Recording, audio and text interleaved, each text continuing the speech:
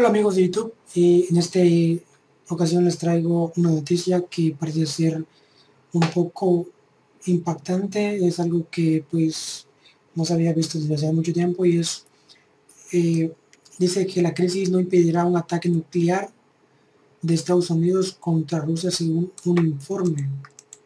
Y pues el post dice que ni siquiera la crisis económica de Estados Unidos impedirá que se haga un ataque nuclear.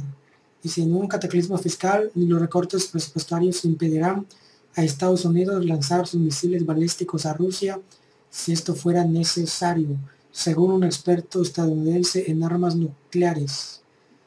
Jeffrey Lewis, director de un programa del Centro James Martin de Estudios sobre la NO proliferación, analizó una carta de 2011 del secretario de Defensa del país León Panetta sobre los recortes para el desarrollo de las armas nucleares de Estados Unidos y que ni esta crisis será un impedimento para que Rusia sea bombardeado con estas bombas nucleares. Es algo que eh, pues muchas personas no saben, pero está en las noticias y les dejaré en la descripción del video el link del post donde se encuentra para que puedan leer y puedan ver el video completo de esta noticia.